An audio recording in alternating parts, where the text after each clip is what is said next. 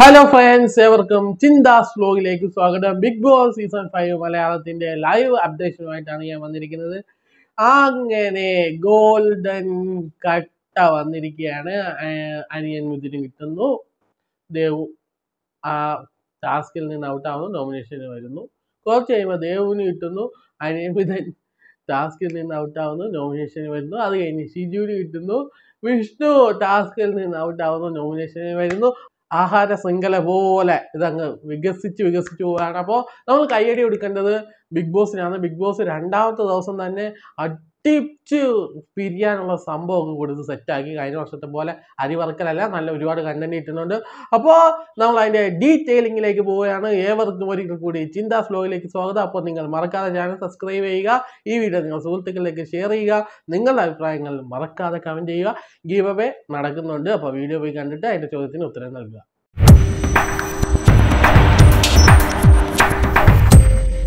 Friends അപ്പോൾ weekly task നോമിനേഷനിൽ നിന്ന് save ആവാനുള്ള നോമിനേഷനിൽ എത്താനുള്ള പോയിന്റുകൾ ലഭിക്കാനുള്ള വീക്ക്ലി ടാസ്ക് നടക്കുന്നതിന്റെ ഇടയിൽ ഒരു ഗോൾഡൻ കട്ട വരുന്നു. അത് അനിയൻ മിഥുൻ മേടിക്കുന്നു. അതിന്റെ നിർദ്ദേശപ്രകാരം അനിയൻ മിഥുൻ അല്ലെങ്കിൽ അതിന്റെ റൂൾസ് പ്രകാരം അനിയൻ മിഥുൻ അവന്റെ കട്ടകളെല്ലാം ചവിട്ടി തെറിപ്പിച്ച് അവിടെ ഇരിക്കുന്നു. ആ ബോക്സ് ആ കട്ട കിട്ടിയാൽ അവിടെ ഇരിക്കണം. അനിയൻ മിഥുൻ ആ കട്ടയുമായിട്ട് അവിടെ ഇരിക്കുന്നു. ആ അനിയൻ മിഥുന് കിട്ടിയതോടുകൂടി ദേവു ഈ ടാസ്കിൽ നിന്ന് ഔട്ടാവുന്നു ഡയറക്റ്റ് നോമിനേഷനിൽ വരുന്നു. അങ്ങനെ കുറേ സമയം ഇതുമായിട്ട് മുന്നോട്ട് പോകുന്നു. ഇതിന്റെ ഇടയിലൊക്കെ കുറേ വിഷയങ്ങൾ വികാസം സംഭവ വികാസങ്ങളൊക്കെ ഉണ്ടാകുന്നുണ്ട്. ഞാൻ ഡീറ്റെയിൽ റിവ്യൂവിൽ പറഞ്ഞുതരാം. അപ്പോൾ അത് കഴിഞ്ഞ് കുറേ സമയങ്ങൾക്ക് ശേഷം ബിഗ് ബോസിന്റെ ഒരു അനൗൺസ്മെന്റ് വരുന്നു. എല്ലാവരും രണ്ട് സൈഡിലായിട്ട് നിൽക്കുക. ഷിജു അതിന്റെ എണ്ണം എടുക്കുക എന്ന് പറയുന്നു. ഷിജു അതിന്റെ എണ്ണം എടുക്കാൻ പോകുന്ന സമയത്ത് ദേവു ഈ ഗോൾഡൻ കട്ട കൈക്കല്ലാക്കുന്നു ചവിട്ടി നീക്കി എടുക്കുന്നു അനിയമിതം മിണ്ടില്ല ബിഗ് ബോസ് എന്താ പറയുന്നത് നോക്കുന്നു.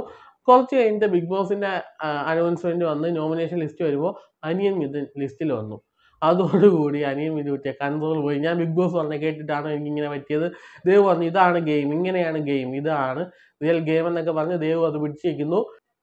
അങ്ങനെ ദേവുവിന് ഗോൾഡൻ കട്ട കിട്ടുമ്പോൾ ആദ്യം സെറീന വന്നിട്ട് സെറീന വന്ന് പറയുന്നത് ഇതെന്ത് മോശമായി പോയി നീ എടുത്ത് ശരിയായില്ല എന്നൊക്കെ പറയുമ്പോൾ എന്നാൽ ഞാൻ കൊടുത്തേക്കാന്ന് പറയുമ്പോൾ സെറീന പറഞ്ഞു വേണ്ട നിനക്ക് ഇനി കിട്ടിയതല്ലേ ഇനി നീ കൊടുക്കണ്ട എന്ന് പറഞ്ഞ് കഴിഞ്ഞപ്പോൾ നമ്മളെ വിഷ്ണു വിഷ്ണു പ്രവോക്കാണ് എല്ലാവരെയും പ്രവോക്ക് ചെയ്യുന്നുണ്ട്. അവൻ അവന്റെ ഗെയിം കളിച്ചു തുടങ്ങി. അവൻ എങ്ങനെ കളിക്കേണ്ടതെന്നൊക്കെ കൃത്യമായിട്ട് പ്ലാൻ ചെയ്ത പോലെ അവൻ വന്നിട്ട് നമ്മുടെ ദേവുവിനെ പ്രവോക്ക് ചെയ്യുന്നു. പ്രവോക്ക് ചെയ്ത് നീ എന്റെ അടുത്ത് വന്ന് പഞ്ചാര അടിച്ചല്ലേ നീ പഞ്ചാര അല്ലേ എന്നൊക്കെ പറയുന്നതോട് ദേവുവിന്റെ ഹേറ്റ് ഉണരുന്നു.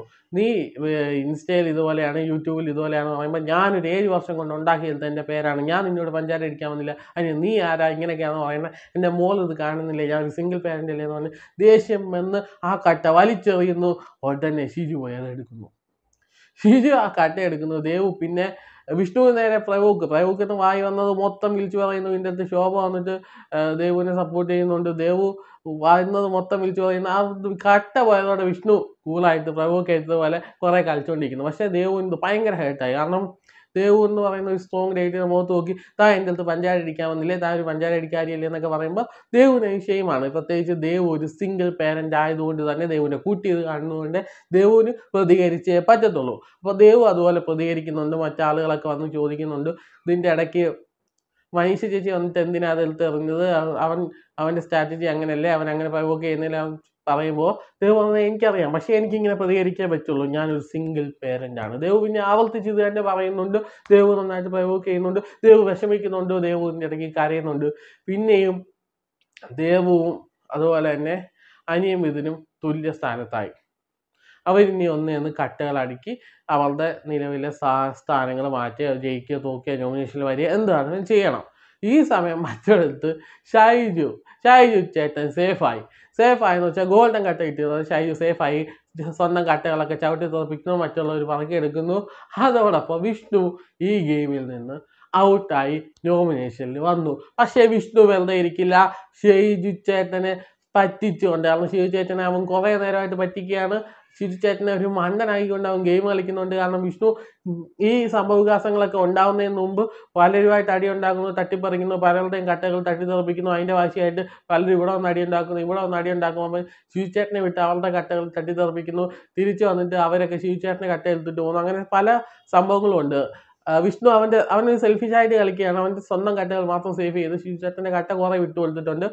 അപ്പോൾ ഇതൊക്കെ ഇങ്ങനെ നടന്ന് ഷിജുചേട്ടന്റെ ഷിജുചേട്ടന്റെ കയ്യിൽ ഗോൾഡൻ കട്ട കിട്ടി. വിഷ്ണു നോമിനേഷനിൽ വന്നു. തീർച്ചയായിട്ടും വിഷ്ണു അത് എടുക്കും. കാരണം അവന്റെ സ്വഭാവം അങ്ങനെയാണ്. ഇതൊക്കെ നടക്കുമ്പോഴും നമ്മുടെ റനീഷ് എവിടെയാണെന്ന് കാണുന്നില്ല. റനീഷിനെ കാണുന്ന ആരെങ്കിലും ഉണ്ടെങ്കിൽ അവന്റെ വിവരങ്ങൾ എനിക്ക് കമന്റിൽ രേഖപ്പെടുത്തി തരണമെന്ന് അപേക്ഷിക്കുന്നു. കാരണം ഞാൻ ലൈവിൽ നോക്കിയിട്ട് റിനോഷിനെ കാണാനേ ഇല്ല. അപ്പോൾ മറ്റൊരു ലൈവ് അപ്ഡേഷനുമായി വീണ്ടും കാണാം. This is Chintha signing off